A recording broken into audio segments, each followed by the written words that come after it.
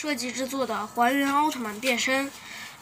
这个日本人的兜里有一个赛文眼镜，每当怪兽出现的时候，他会把它拿出来，然后戴在眼睛上。之后他就会变成赛文奥特曼，他是分段变身出的，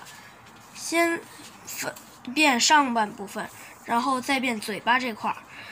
之后把他的盔甲变变身出来，在脖子下方，之后再把它的全身剩下的部分给变出来，之后就是放大了。